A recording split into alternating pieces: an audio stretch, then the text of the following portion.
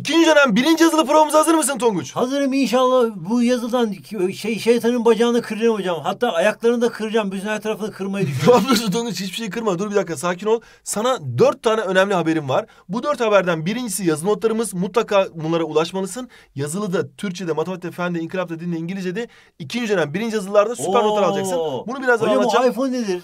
iPhone ne olduğunu birazdan söyleyeceğim ama ikinci haberime geçmek istiyorum. Bugün ne yapacağız? İlk başta ikinci dönem birinci yazılı konularında bilmemiz gerekenler şöyle hızlı bir şekilde tekrar edeceğiz. Milli bir destan ya istiklal ya ölüm. Atatürkçülük ve çağdaşlaşan Türkiye. Burada bayağı bir konumuz var gördüğün gibi. Da ağırlık kısmı burası olacak. Ve ardından da yazılımıza geçeceğiz. Yazılımızda zaten bunlar LGS'de de yani sınavda da tam olarak karşına çıkacak olan şeyler olduğu için bunları çok iyi bilmen lazım. Burada boşluk doldurmalarımız var. İşte şurayı alalım hızlı bir şekilde. Birincinin ulusal ve uluslararası sonuçlarını işaretleyiniz. Buradan yüzde yüz soru geliyor. Sadece yazılılar değil. Oo. LGS'de soru geliyor. Bilgi ve ilgili olduğu gelişmeler. işte anahtar kelime bayağı bir soru hazırladık sana. Hocam bu soruları nasıl hazırladınız? Bu soruları hazırlarken öncelikle tabii ki Milletin Bakanlığı kazanımlarına baktık. Kazanımlardan sonra kolejlerdeki, devlet okullarındaki farklı farklı hocalarla görüştük. Hocam biz öğrencilere hangi soruları sorarsak tam da sınavda karşılarına çıkardık. Öğrencileri nasıl zorlayabiliriz daha fazla? Aynen bu şekilde onlar dediler ki şunları soracağız, bunları soracağız. Hepsinin karması olan tam da senin sınavda karşına çıkabilecek şeyleri yazdık ve sana getirdik.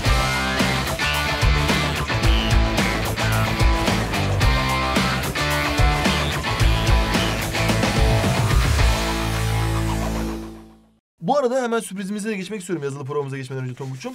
Biliyorsun biz 3 milyon aboneye yaklaşıyoruz ana Oo. kanalımızda ve 6 Nisan'da da bunu taşlandırmak istiyoruz. 3 Yaşasın. milyonda 3 kameralı iPhone hediye edeceğiz. İnşallah sen de bu hediyeyi kazanırsın. Hocam Canlı yayında. keşke 4 milyon olsa da 4 kameralı iPhone olsa. Aynen ben de onu isterdim ama şu anda 3 milyon abonedeyiz. O yüzden 3 kameralı iPhone. Peki iPhone 11 Pro için yapman gerekenler çok basit. Birincisi zaten 8. kanalımıza abonesin. Tebrik ederim seni. Ana kanalımıza da abone olmanı istiyoruz. Bu hani var ya 2.9 milyondan 3 milyona giden kanal. İlk kanalımız zaten bizim o. Göz bebeğimiz. Kutlama yapacak mısınız hocam? E tabii ki her türlü kutlamada olacak. Olumlu yönde tabii ki. Pasta limonata yapacak mısınız? Yani pasta, limonata, birazcık kek, hafif böyle bayat da olsa yiyeceğiz artık. Yapacak bir şey yok. Buralardaki pastanelerden bir şeyler almaya çalışacağız. Tonguç Akademi ana kanalına abone olmanı istiyoruz. Instagram sayfamızı da takip etmeni istiyoruz. Ana Instagram'ımızı. Burada biliyorsunuz zaten 600 bin yakın takipçimiz var. Ve aynı zamanda Ne burada yapmam gerekiyor peki onu yapmak için? bunları yaptıktan sonra bir de 3 milyon Tonguç etiketiyle beraber abone ettiğin iki arkadaşını yorum olarak yazman gerekiyor. Bundan sonra seni iPhone 11 çekilişine katılmış oluyorsun ve telefon bekliyor. İnşallah 6 Nisan'da çekiliş var. İnşallah Bu- hayırlısı bana çıkar inşallah. Hayırlısı inşallah. Bu arada ikinci dönem birinci yazılı konu listesi sadece ama sadece Tonguç Akademi Instagram sayfasında senin için paylaşıldı. Yani Türkçe'de, matematikte, fende, inkılapta, dinde, İngilizce'de acaba birinci yazılıda hangi konular çıkıyor diye merak ediyorsan buraya bakabilirsin. O zaman mutlaka ana kanalımıza abone ol ve 6 Nisan'daki çekilişte görüşelim diyoruz. Bunları kaldıralım ve şimdi hemen yazılı programımıza başlayalım. Arkana yaslan Tonguç'um emniyet kemerini bağla, koltuğunu dik konuma getir. İkram servisimiz bitti. Hemen şimdi kapatalım ve artık çalışalım, başlayalım. Birincisi bilmemiz gerekenlerde Doğu cephesini biliyorsun Ermenilerle mücadele etmiştik. Burada Kazım Karabekir 15. Kolordu ile birlikte Türkiye Büyük Millet Meclisi'nin yani Türk ordusunun ilk zaferini kazanmıştı. Gümrük Anlaşması da Doğu cephesinin ilk anlaşmasıydı ve aynı zamanda Kurtuluş Savaşı'nın ilk anlaşmasıydı. Neden? Çünkü Ermeniler bizim ilk defa bizi ilk defa tanıyan devletti. Devam edelim Güney cephesine. Güney cephesinde ise düzenli ordu yoktu. 15. kolordu yoktu. Burada Urfa'da Şahin Bey, pardon Urfa'da Ali Sahip Ursavaş, Antep'te Şahin Bey, Maraş'ta Sütçü İmam gerçekten milli mücadelenin kahramanlarıydı. Kuvayi Milliye vardı. Kuvayi Milliye ne demek Tonguç? Milli güçler demek hocam. Harikasın gerçekten mükemmel. Kuvayi Milliye ne olduğunu Kuvvetten geliyor. Kuvveti milliye. Harikasın olmuş. Bunu bilen bir öğrenci LGS zaten inkılap tarihinde inşallah çok iyi netlere ulaşır. Gerçek yazılarda çok iyi sonuçlar alır. Gerçekten tebrik ediyorum seni. Sen İnşallah amin. Dualarımız kabul Amin, olmasın amin, niyetiyle inşallah. Amin. Kuvayi Milliye gerçekten milli güçler. Milli güç ne demek? Yani ordu haricinde düzensiz bölgesel birlikler bunlar da çok süper bir şekilde mücadele edecekler. Urfa'dan, Antep'ten, Maraş'tan Fransızları ve Ermenileri gönderecekler. Batı cephesine baktığımızda ise en önemli cephe olduğunu görüyoruz. Burada İnönü savaşları var. Atatürk'ün savaştığı cephedir hocam kendisi. Harikasın. İlk başta burada Ali Fuat vardı ama bazı cephelerde kaybedince İsmet İnönü geldi. İsmet İnönü birinci İnönü Savaşı'nda mükemmel. Düzenli ordunun ilk zaferini elde etti. İkinci İnönü Savaşı'nda mükemmel. Düşmanın resmen durdurdu. Ama maalesef Kütahya Eskişehir Savaşları'nda birazcık geri çekilmek zorunda kaldık. Bu durumda Mustafa Kemal ordunun başına geçti. Başkomutanlık yasası çıktı ve Sakarya ile ve Büyük Taarruz ile düşmanı resmen denize döktük. Burada Marif Kongresi eğitime verilen önemi gösteriyor. Gösteriyor. Savaşa rağmen eğitime devam ediyoruz. Tekalifi milli emirleri ise ordunun ihtiyaçlarının karşılanması için genel seferberlik emirleri olarak bilmemiz lazım. Sakarya zaferinden sonra da tabii ki çok ciddi bir zafer. Niye? Çünkü burada düşmanı son kez durduruyoruz. Geri çekilişimiz sona eriyor ve artık büyük taarruzda biz saldırıya geçiyoruz. Demek ki birinci önü ve ikinci önü savunma, Kütahya Eskişehir savunma hatta biraz geri çekiliş. Sakarya ise direkt olarak bir Yunanlarla savaştık hocam. Evet Yunanlarla savaştık. Bu cephede elde ettiğimiz başarılar diğer cephelerin de kapanmasını sağlıyor. Mesela Sakarya Zaferi'nden sonra Ankara Anlaşması ile Güney cephesi kapanıyor. Veyahut da Sakarya Zaferi'nden sonra Kars Anlaşması ile Doğu cephesi de kapanıyor. Bunu da bilmemiz lazım. Mudanya Ateşkesi ise direkt Kurtuluş Savaşı'nı bitiren anlaşma. Kurtuluş Savaşı'nın askeri kısmı bitiyor. Artık diplomatik kısım başlıyor. Lozan'da da diplomatik savaş veriyoruz. Masada indiriyor herif, sen ne yapıyorsun? Kimsin sen ya falan böyle tartışmalar çıkıyor. İsmet İnönü'yü biraz küçümsemeye çalışıyorlar. İsmet İnönü diyor ki bakın artistlik yapmayın. Eğer kapitülasyonları kaldırmazsanız, Ermeni sorunu halletmezseniz, hala böyle bıdı bıdı bıdı bıdı yaparsanız yeniden savaşa çağırıyoruz sizi diyor. Bu sefer adamlar da korkuyorlar ve diyorlar ki tamam kapitülasyon. Evet bir tatlı sevimli bir kediye dönüşüyorlar. Öyle biraz panter takılıyorlar. Evet sonra da Evet gerçekten kedi taklidinde başarılı sonuç. Geldik hemen diğer kısma. Burası önemli. Burayı da anlattıktan Of sonra. bayılıyorum bu kısma hocam. Evet buraya Modernleştik bu bayılıyorum kısma. derken direkt bir yere düşüp bayılıyor musun yoksa çok mutlu oluyorsun? Çok Ama- mutlu oluyorum Aferin hocam. tebrik ediyorum seni. Niye? Çünkü burada gerçekten Osmanlı toplumundan artık yeni Türk devletine geçişte yapılan en önemli değişimleri görüyoruz. Şimdi Kurtuluş Savaşı'nı kazandık. Yani milli bağımsızlık cepte. Cumhuriyeti ilan ettik. Yani milli egemenlik cepte. Milli birlik ve beraberliği sağlamamız lazım. Ve laiklik ve çağdaşlaşmayı sağlamamız lazım. İşte bunların hepsi de burada. Çağdaşlaşan Türkiye kısmından. Birincisi Atatürk ilkelerinde cumhuriyetçilik, milliyetçilik, halkçılık, devletçilik, laiklik ve inkılapçılığın ne olduğunu iyi bileceğiz. Cumhuriyetçilik, milli egemenlik. Milliyetçilik, ulusal bağımsızlık, halkçılık herkesin eşit olması, devletçilik ekonomide devletin halkla beraber hareket etmesi, laiklik e, din yerine akıl ve bilimin bütün ku- toplumsal kurumlarda esas alınması, inkılapçılık ise durmaksızın yeniliğe gitmek, her zaman yenilikler yapmak. Siyasi alanda gelişmelere baktığımızda 23 Nisan 1920'de meclis açılıyor ve milli irade yolunda çok önemli bir adım atılıyor. 1922'de saltanat kaldırılıyor, padişahlık bitiyor artık. Bu laiklik yolunda atılan ilk adım. 1923'te cumhuriyet ilan ediliyor. Artık devletin rejim sorunu hallolmuş oluyor. Devletin yönetim şekli belli oluyor. Aynı zamanda 1923'te Ankara başkenti ilan edilecek. 3 Mart 1924'te halifelik kaldırılacak ve laiklik... Hocam bunca şeyi nasıl aklınızda tutuyorsunuz? Robot gibisiniz hocam yani. Siz robot musunuz yoksa? Hayır cyborg... Yapay zeka mısınız hocam? Hayır siz? Tonguç'um bunları ben yazılı notlarından çalıştım ben. Aa. Evet bana bak sen bu kadar da baba. Yazı notunda mı çalıştınız hocam? Evet ben de açtım bunları bir tekrar dinledim. İnkılap tarihi sayfa 41'i açtım şöyle geldim baktım. Hmm cumhuriyetçilik, Allah egemenlik milletinmiş, milliyetçilik buymuş. Kavramlar burada yazıyormuş dedim. Sayfayı çevirdim saltanatı kaldırma bak tarihlerin hepsi burada yazıyor. Bunların hepsini sayfa 43-44'ten güzel güzel çalıştım. Sonra da yazılıya girdim. Demek ki sırrı buymuş. Sırrı Hadi herkes hep beraber el ele yazı notlarına. evet gerçekten güzel organik bir reklam oldu.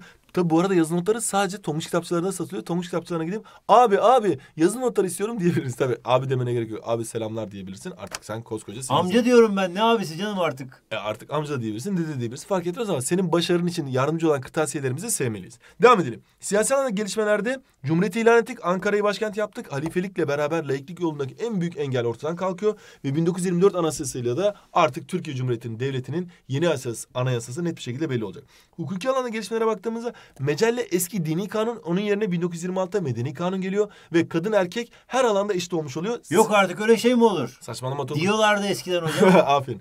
Yani tabii şey hariç nedir onun adı? Ee, seçimler Hatta hariç. biz Avrupa'da hi- hiç kadın şey girmeden e, hakları biz girmişiz hocam hakları. Harikasın doğru. İsviçre'den aldığımız ne diyorsun anlamadım ama İsviçre'den aldığımız medeni kanundan çok daha önce kadınlarımıza seçme ve seçilme veriyoruz 1934'te.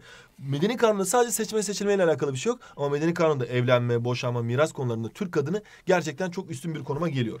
Eğitim ve kültür alanında gelişmelere baktığımızda eğitimde birlik sağlanıyor tevhid tedrisat ile. Harf inkılabı sağlanıyor yine okur yazar oranını artırmak için. Millet mektepleriyle yine yetişkinlere okuma yazma öğretiliyor, okur yazarını artırılıyor. Türk Tarih Kurumu, Milliyetçilik, Türk Dil Kurumu, Milliyetçilik, üniversite reformu yine aynı şekilde burada da e, üniversitelerimizde laiklik yolunda adımlar atılıyor. Güzel sanatlar ve sporda yine milli eğitim konusunda yapılan önemli bir değişiklik. Toplumsal alanda gelişmeler daha çok halkçılıkla alakalı. Kıyafetlerimizin yenilenmesi, tekke ve zaviyelerin kapatılması laiklikle alakalı. Ölçü, tartılardaki yenilik inkılapçılıkla alakalı. Soyadı kanunu halkçılıkla alakalı. Modern Türk kadını da yine aynı şekilde artık toplumda daha fazla etkin hale geliyor. Seçme ve seçilme hakkı da elde edecek. Sağlık alanında gelişmelere baktığımızda bu da yine halkçılıkla alakalı. Sosyal devlet anlayışıyla devlet herkese yardım ediyor. Devletin herkese eşit davranması sosyal devlet anlayışı demek. Bilhassa durumu ihtiyaç sahibi olanlara çok daha fazla yardım götürmesi ise yine eşitlik anlayışı. Hıfzı sıha kanunu yine Sağlıkla alakalı sanatoryumda veremle savaş için açılan bir e, yer. Ekonomi alanında gelişmelere baktığımızda İzmir İktisat Kongresi ile birlikte artık milli bir ekonomiyi benimsiyoruz. Misak, misak iktisadiyi kabul ediyoruz. Hatırlarsan Kurtuluş Savaşı sırasında misak-ı milliyi kabul edip düşmanı yurttan atacağız demiştik. Misak iktisadi ile de artık milli bir ekonominin yolunu çiziyoruz. Kabotaj kanunu ise denizlerde milliyetçilik yani denizlerimizi koruma kanunu, denizlerimizin haklarının bizde olduğunu söylüyoruz. Tarım, sanayi ve ticarette de durmaksızın yenileşmeye gidiyoruz ve Türk çiftçisini, Türk sanayisini ve Türk tüccarını korumaya başlıyoruz. İlelebet Cumhuriyet'te de nutuk var biliyorsun Mustafa Kemal 19 Mayıs 1919'da Samsun'a çıktım cümlesiyle başlıyor. Hatta bununla alakalı nutuk denemelerimiz bile var. Çok önemli bir kitap. LGS'de mutlaka bununla alakalı bir soru geliyor. 10. yıl nutku, gençliğe hitabe, Cumhuriyet'in kazanımları da mutlaka yazılı karşına çıkacak. Şimdi istersen bir an önce yazılı programımıza başlayalım. Oo, sonunda Bütün yeter bunların hepsini yazılı böyle? notlarından tekrar etmeyi unutma. Neydi bu böyle diyorsun. Hemen başlayalım. Şimdi 15. Kolordu Komutanı Kazım Karabekir Paşa yetim çocuklardan Gürbüz Çocuklar Ordusunu kuruyor. Gürbüz Çocuklar Ordusunu kuruyor. Elde var bir. Nokta nokta anlaşmasıyla Büyük Millet Meclisi ilk askeri ve siyasi zaferini elde etmiştir. Tabii ki bunu söylemiştik. Doğu cephesindeki Gümrü Anlaşması ile. Urfa direnişine nokta noktakiler öncülük etmiştir. Bu da e, neyler? E, 12'ler. 12'ler öncülük ediyor. İzmir'in işgalinden sonra Yunanistan gemilerle Rum, göçmen taşıyarak ne yapmıyor? Ne yapmaya çalışıyor? Wilson ilkelerine göre haklı duruma çıkmaya çalışıyor. Niye? Çünkü Wilson ilkelerine Amerikan Başkanı Wilson diyor ki bir bölgede kim çoksa o bölgeyi yönetme hakkı, o bölgenin idaresi ona verilsin diyor. Şimdi İzmir'de Türkler çok. O da Türklerin değil de Rumların sayısını artırmak için hemen ne yapacak? Bir anda oraya Rum göçmenler götürecek. Doğu sınırımız sırasıyla Gümrü, ardından Birinci Yunan Savaşı'ndan sonraki Moskova ve Sakarya Zaferi'nden sonraki Kars anlaşmalarıyla şekilleniyor. Moskova Anlaşması ile Misak-ı Milli'den ilk taviz verilecek ve Batum'u biz maalesef Ruslara vereceğiz. Geçiyoruz Birinci Yunan Savaşı'nın ulusal ve uluslararası sonuçlarına. Bak buradan yüzde yüz bir soru gelir diyorum. Neden biliyor musun Tonguç'um? LGS'de, TEOK'ta, OKS'de veyahut da bundan önceki bütün sınavlarda ve yazılılarda bunun sorulmadığı sene yok. Dolayısıyla yapacağın şey şu. Moskova ne diyor? Aa bu Birinci Dünya Savaşı milat hatırlarsan. Moskova yabancı bir ülke. O zaman uluslararası. İstiklal Marşı bize ait. Ulusal. Londra İngiltere'de. Uluslararası. Afganistan uluslararası. Teşkilat Esasiye bizim ilk anayasamız 1921 Anayasası. Bu da ulusal. Bu sayfayı mutlaka bilmelisin Tonguç'um. Hemen geçiyoruz. Verilerle ilgili oldukları gelişmeleri eşleştiriniz demiş. Savaşa rağmen eğitim kongresi yapıyoruz. Bu marif kongresi. Buraya C'yi yazıyorum. Ordu millet dayanışması ise tekalifi milli emirleri. Ordunun ihtiyaçları karşılanıyor. Büyük Millet Meclisi'nin etkilerinin Mustafa Kemal'e verilmesi ise tabii ki de başkomutanlık yasası. Osmanlı'nın hukuken sona ermesi ise tabii ki de Mudanya Teşkisi. TBMM'nin uluslararası alanda tanınması Londra Konferansı. İtiraf devletleri 1. İnönü Savaşı'ndan sonra bizi çağırıyorlar. Diyorlar ki come here. Biz diyoruz ki neden? We want to talk. Neden konuşmak istiyorsunuz? Çünkü biz size sevri yeniden yumuşatıp sunmak istiyoruz diyorlar. Biz de hadi oradan diyeceğiz ama demeyelim gidelim orada sanki kabul edecekmişiz gibi gidelim ama kabul etmeyip Türk misak-ı milli hedefimiz yani bizim kendi misak-ı milli hedefimizi yani kapitülasyonlar kaldırılacak azınlıklar, bağımsız ekonomi, boğazlar yani aynı zamanda sınırlar, Arap bölgelerine referandum ka- kavramlarını, konularını bunları anlatalım, tüm dünyaya duyuralım diye e, ve aynı zamanda Türkler savaşa e, çok seviyorlar ama masaya gelmiyorlar demesinler diye biz Londra konferansına katılıyoruz. Zaferin ve bağımsızlığın tescillenmesi ise tabii ki Lozan konferansı. Burası çok çok önemli. İsmet İnönü tarafından çok büyük bir fedakarlıkla yapılmıştır Lozan Konferansı. Tebrik ediyorum. Gerçekten İsmet İnönü oraya gidiyor ne yapıyorlar biliyor musun? Şöyle masaya Lozan konferansının masası. Evet. Hatta burası burası Türkiye şarkısı. Hangi marka masa yapmışlar hocam? Masanın markasını bilmiyorum ama e, Ferre olabilir. Burada şöyle bir şey var. E, Gucci mu Salvador mu olabilir mi hocam? Yani neyse ne aman İsviçre'de bir masa işte belki dandik Ikea'dan da almış olabilirler. Burada önemli olan şey şu. Şöyle masada herkese böyle koca koca sandalyeler vermişler tamam mı Tonguç'um? Koca koca herkesin sandalyesi böyle koca. Herkesin sandalyesi böyle büyük büyük tamam mı? İşte İtalya, İngiltere, Fransa. Türkiye'ye şöyle bir sandalye vermişler. Aa. Diyorlar Ne ki, güzel minimalist bir sandalye. Minimalist sana güzel ama burada esasında aşağılamaya çalışıyorlar bizi. Diyorlar Aa. İsmet'ciğim sen buraya oturabilirsin diyorlar. Ve aynı zamanda Türk tercüman da bulmamışlar. İsmet İnönü'nün ne konuşuyorsunuz anlamıyorum biraz. Benim dilimden de konuşun diyor. Hem kendi diline koymuyorlar tercüman hem de Türkçe tercüman yok. Hem de aynı zamanda küçük sandalye veriyorlar. İsmet İnönü diyor ki ya ne yapmaya çalışıyorsunuz siz diyor ya. Bu kadar savaştık, kan döktük, denize döktük hala. WTF ya WTF ya. Ya ne yapmaya çalışıyorsunuz yani? WTF ne yapmaya çalışıyorsunuz? Tabii İngilizce olduğu için WTF diyor. Adamlar da ya ne diyorsun sen falan ne diyor falan. İsmet İnönü diyor ki bakın diyor. Kapitülasyonları kaldırmazsanız adam gibi böyle bana artistik yapmaya devam ederseniz ben burayı terk ederim diyor ve terk ediyor konferans. Aa. Gerçekten de konferans iki yıl sürüyor Tonguç'um. İlk yıl terk ediyor ve geliyor İzmir'e. İzmir İstanbul'a geliyor. İst- Ankara'ya geliyor. Ankara'dan da İzmir'e geçip misak iktisadi kararlarını alıyoruz. Diyoruz ki biz Lozan'da, Mozan'da bize öyle ezemezler. Eğer kapitülasyonları kaldırmazlarsa biz yeniden savaşacağız diyoruz. Yeniden gittiğimizde artık adam gibi doğru düzgün sandalye veriyorlar. İyi İsmet- bari hocam. Aynen İsmet İnönü oturuyor diyor ki yeter diyor ya. Yeter yeterince kan aktı artık. Daha hala doymadınız mı? De artık gidin evinize diyor Mafya yani. toplantısı gibi olmuş hocam. Aynen Kurtlar Vadisi gerçekten ve ardından da herkes diyor ki tamam abi affet bizi gerçekten özür dileriz diyorlar ve Lozan'ı anca öyle imzaladılar ta 1923'te. Geldik ilkeleri anahtar kelimelere eşleştiniz. Buradan da Tonguç'um maalesef güzel haberi vermek zorundayım sana. Yüzde yüz soru gelir diyorum. Çünkü bunun sorulmadığı bir sınav yok. Bunun sorulmadığı bir yazılı yok. Hocalar bayılıyorlar buna. Çok önemli. Ben de bayılıyorum. Ben de bir öğretmen olarak gerçekten şu anda çok heyecanlıyım. Cumhuriyetçilik kelimesinin ulusal egemenlik olduğunu bileceksin. Buraya hemen birinin yanına D yazıyorum. Milliyetçilik kelimesinin e, ulusal birlik ve beraberlik olduğunu bileceksin. 2A. Aynı zamanda ulusal bağımsızlıkla da alakalı olduğunu bil. Bunu da Milliyetin Bakanlığı yaptığı sınavlarda ya da e, LGS'de sorabilir. Halkçılık ise tabii ki de nedir? Ee, eşitlik. Halkçılık eşitlik. Herkesin eşit olması. Yani bu kalem mavi renk, bu kalem yeşil renk, bu kalem kırmızı renk, bu kalem turuncu renk. Fark etmez. Hepsi kalem. Eşit. Hepimiz eşitiz. İşte bu Türk, bu Çerkez, bu Tatar. Fark etmez. Hepimiz Türk'üz, hepimiz eşit. Hepimiz bu kadın bu erkek. Hayır hayır hepimiz eşitiz. Eşitlik demek bu. Geliyoruz. Ekonomide devlet toplum el ele olması ise tabii ki devletçilik. Ee, ilerleme, çağdaşlaşma, yenilik, laiklik. Ee, akılcılık, bilimsellik, din ve vicdan özgürlüğü ise tabii ki burada pardon bu laiklik şu ilerleme çağdaşlığa yönelik inkılapçılık özür dilerim. Akılcılık, bilimsellik, din ve vicdan özgürlüğü ise laiklik olmuş oluyor. Yani F laiklik, E inkılapçılık olduğunu bilmen lazım. Atatürkçülüğün durağan olmaması bak bu da sınavda çıkabilir Tonguç'um. Atatürkçülük, Atatürkçülük durağan yani durgun değildir. Bunun temel sebebi Atatürkçülüğün durağan olmaması inkılapçılık ilkesiyle alakalı. Geliyoruz. Aa, Atatürk'ün nüfus cüzdanına bakılarak hangi inkılaplara ulaşılabilir? Gerçekten güzel bir soru. Şimdi birincisi buraya baktığımızda bak TC diyor. O zaman buradan biz Cumhuriyet'in ilanına ulaşabiliriz. Cumhuriyet'in ilanını bir kere not alalım. Bir. İkincisi bak Atatürk'ün soyadı var bak. Ee, ne diyor? Anne adı, babasının adı, aile ismi yani lakap ve şöhreti. Atatürk yani soyadı kanun çıkmış. O zaman ilk defa Atatürk'e soyadını biz veriyoruz. Türk milleti veriyor ve başkasına da vermiyoruz bu soyadını. Soyadı kanunu var. Ve aynı zamanda harfler değişmiş bak. Eskiden Atatürk şöyle yazıyordu. Ata Türk diye yazılıyordu. Atatürk diye yazılıyor. E Şimdi başka türlü yazılıyor. O zaman artık nasıl yazılıyor? Biz artık Atatürk'ü böyle yazıyoruz. O zaman Atatürk yazıldığına göre net bir şekilde ne diyebiliriz? Bu harf inkılabı yani 1926'dan sonra çıkmış bir şey. 1923'ten sonra olduğunu nereden biliyoruz? Çünkü Cumhuriyet ilan edilmiş. 1934'ten sonra olduğunu nereden biliyoruz? Çünkü soyadı var. 1926'dan sonra olduğunu nereden biliyoruz? E çünkü harf inkılabı var. Ve aynı zamanda bak dikkat etsen No 51 diyor. 1881 diyor bak. Arapçada bir başka, iki başka, üç başka, dört başka böyle değişik değişik rakamlar var. Ama bu yeni yeni rakamlar. O zaman burada da uluslar arası e, rakamların kabulü diyebiliriz. Yani nelerin değiştiğini çok iyi bilmemiz lazım. Gerçekten önemli burası. Diyoruz ve geçiyoruz.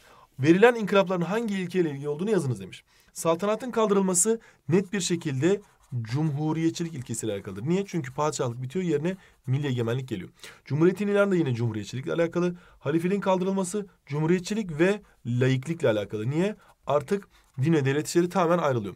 Kadınlara siyasi haklar verilmesi sadece cumhuriyetçilikle alakalı. O yüzden buraya denden işaret koymadan sadece cumhuriyetçilik olduğunu göstermek istiyorum Tonguç Şeriat'ın benim. Medeni kanun kadın erkek eşitliği yani top, toplumda herkesin eşit olması halkçılık ama aynı zamanda mecelle yerine İsviçre'deki medeni kanunu gelmesi de yine laiklikle alakalı. Tevhid Tedrisat Kanunu'na baktığımızda eğitimde birlik olduğu için halkçılık var bir kere. Kız çocuklar, erkek çocuklar hep beraber okuyorlar. Aynı zamanda medreseler de kapatılıyor bu dönemde. Bu laiklikle de alakalı. Ve aynı zamanda da milli bir eğitim politikası benimseniyor. Dolayısıyla milliyetçilikle de alakalı. Ama en önemlisi en başta yazdığım halkçılık. Milad takvim yepyeni bir takvim. Bak batıya yönelmekle alakalı her şey inkılapçılıkla alakalıdır Tonguç evladım benim. Niye? Çünkü biz e, Çin takvimi değil de Avrupa takvimini alıyoruz. Yani batıya yöneliyoruz. Harf inkılabı da aynı şekilde. Okur yazar oranını artırmak istiyoruz ve batı harflerini alıyoruz. Tabi burada çok önemli. Harf inkılabında işte artık böyle X gibi, Q gibi, W gibi harfleri biz kullanmıyoruz. Niye? Çünkü biz milliyetçi bir inkılap, milliyetçi bir harf yapıyoruz. Demek ki X harflerinin, Q harflerinin, W harflerinin kullanılmaması nedir diye sorarsan LGS'de milliyetçilik diyeceksin. Ulusal rakam, uluslararası rakamların kabulü ise tabii ki yine inkılapçılık. Niye biz e, Arap rakamlarından Çin rakamlarına geçmiyoruz. Batı rakamlarına geçiyoruz. Latin e, Latin rakamlarına. Ehlen ve sehlen hocam. Aleykümselam. Hoş geldin. Enes Müke Tonguç. Ma ismik. ne? ne hocam? Keyfi, bak keyfi hal havar demek. Keyfi hal. E, e, fine thanks and you teacher. Ene bir hayır elhamdülillah diyeceksin. Yani ene Hocam ben... siz Arapça her şeyi biliyorsunuz. E, siz eskiden yaşadınız mı Osmanlı'da hocam? Evet ben harf inkılabından önce de yaşadım. O dönemde biz e, gene Türkçe konuştuk ama Nasıldı Arapça o yapıyorduk. zaman hocam? Ortam çok farklıydı Tonguç'a. Yani tabii bu şimdiki gibi caddeler böyle arabalar falan yok. At arabasıyla seyahat ediyorduk. Zor günlerdi. Hepsi bitti. Şimdi çok şükür ülkemiz çok daha iyi yerlere geldi. Bakalım hayırlısı. Gelelim diğer kısma. Şapka inkılabı direkt halkçılık. Niye? Herkes eskiden aynı şapkayı giyemiyordu. Herkes kafasına göre mesela eğer ben hocaysam benim sarığım böyle upuzun oluyordu. Senin sarığın küçük oluyordu. Eşitsizlik oluyordu. Ama şimdi sen de bir şapka takabilirsin ben de takabilirim. Bu halkçılıkla alakalı ve aynı zamanda batıdan getirdiğimiz için bu inkılapçılık ile alakalı Tonguç evladım benim. Tekke ve zaviyelerin kapatılması direkt olarak laiklikle alakalı. Soyadı kanunu direkt olarak ağa, paşa, hacı, hoca gibi ünvanların kaldırılması, unvanların kaldırılması halkçılıkla alakalı. Kapitülasyonların kaldırılması direkt olarak milli bağımsızlığı, bağımsızlığımızla alakalı olduğu için milliyetçilikle alakalı. Kabotaj kanunu ile Türk denizlerini işletme hakkının Türk gemilerine verilmesi yine milliyetçilik ile alakalı Tonguç evladım benim. Yabancı işletmelerin millileştirilmesi yine milliyetçilikle alakalı. Türk Tarih Kurumu ve Türk Dil Kurumları milliyetçilikle alakalı. 5 yıllık sanayi planı karma ekonomi yani devletin ekonomide güçlü olması devletçilikle alakalı. Teşviki sanayi kanunu da yine devletçilikle alakalı ama bir yönden de sanayi teşvik ettiği için, halka destek verdiği için bu da halkçılık kısmına girebiliyor. Geldik bu gelişmenin ortak amacı nedir diyor. Şimdi bak Büyük Millet Meclisi açılıyor. Meclis demek sandık demek milletvekili demek. Saltanat kaldırılıyor. Meclis demek sandık demek milletvekili demek. Cumhuriyetin ilan edilmesi sandık demek meclis demek milletvekili demek bak. Bu 23 Nisan 1920. Bu 1 Kasım 1922. Bu 29 Ekim 1923. Bu 3 Mart 1924. Bunların hepsinin ortak bir amacı var.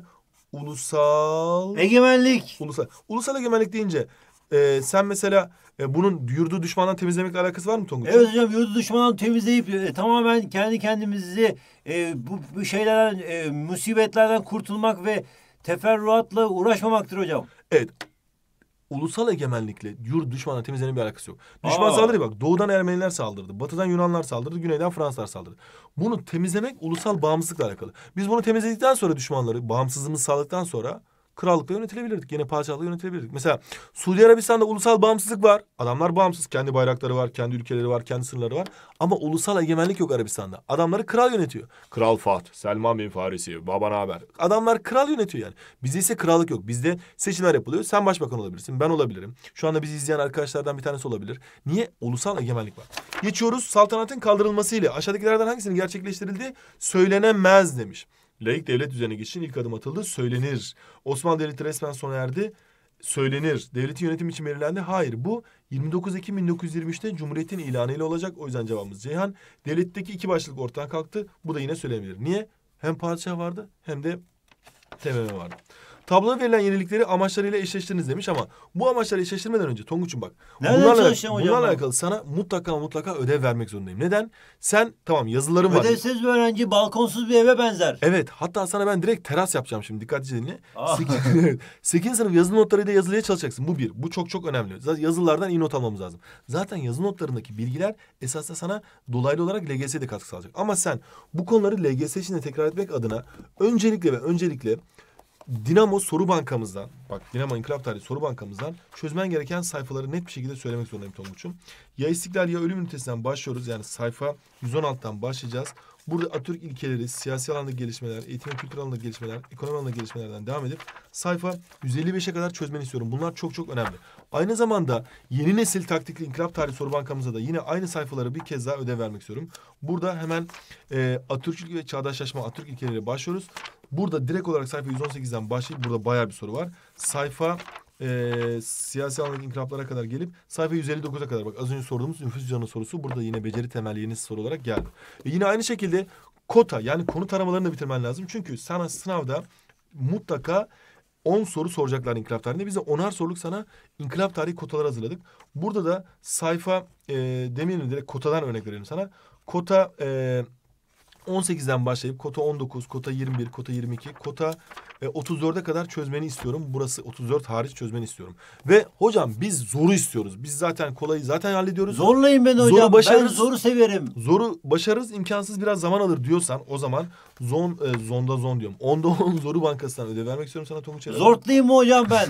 Hayır zortlamana gerek yok. Hani Bu- zoru bankası beni zortlatacak gibi duruyor hocam. Evet zortlayacak gibi duruyor ama burada Şuna bakalım. Yeni nesil beceri temelli sorularda inkılap en başta gördüğün gibi. Burada inkılapta sosyal bilgilerde bak hemen şuradan başlıyorum.